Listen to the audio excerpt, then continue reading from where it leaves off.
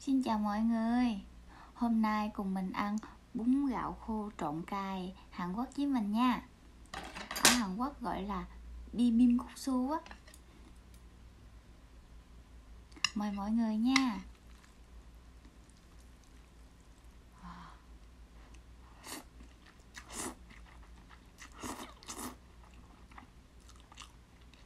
Mmm Ngon quá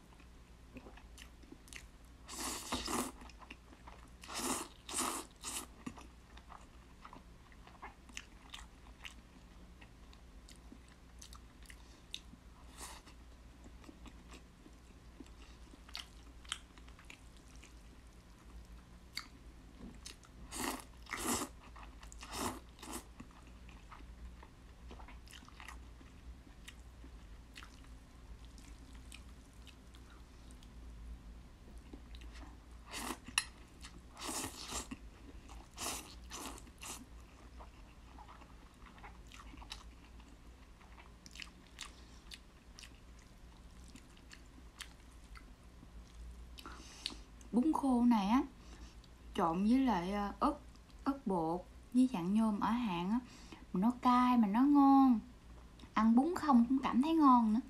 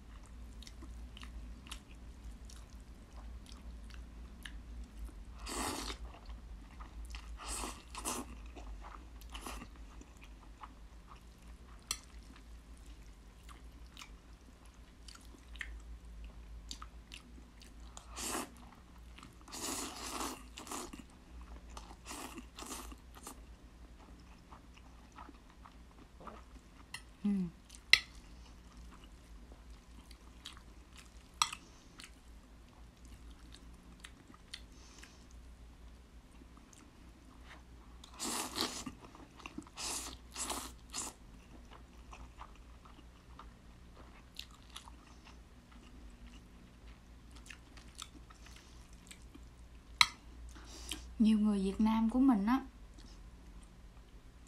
qua hàng á không có quen ăn cay. Tại vì ở đây uh, thời tiết lạnh á món gì người ta cũng uh, bỏ ớt cay vô hết á.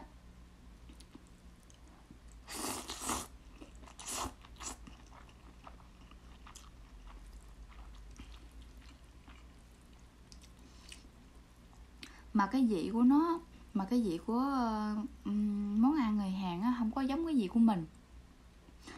Uh, bỏ cái nước sốt đó nước sốt lúc nào cũng nước sốt cay á nhưng mà nó ngọt ngọt nó cay mà nó ngọt ngọt giống như là cái vị cái vị canh chua của miền tây vậy á. Nên nhiều người khó ăn lắm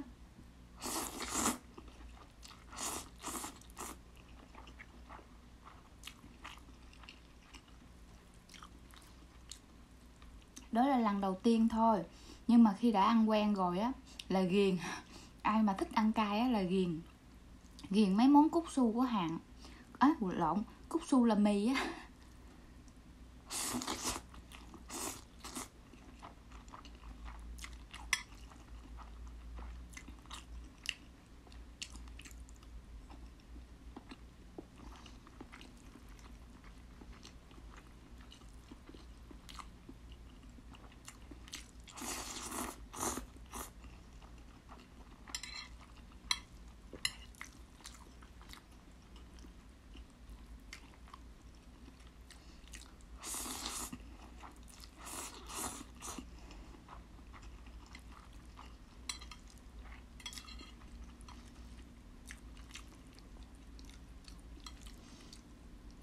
ở Hàn Quốc, mình thích nhất là các loại mì luôn, mì gói mì nào mình cũng thích hết.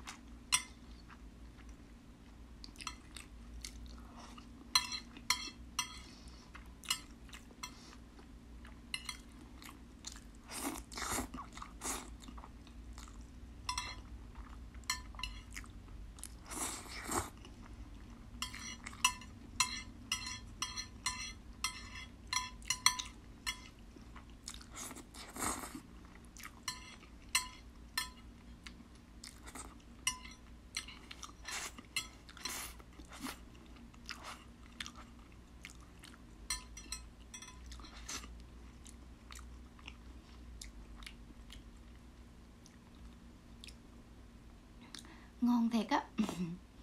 Cay mà nó ngon ơi là ngon. À, xin chào mọi người nha. Lần sau chúng mình gặp lại.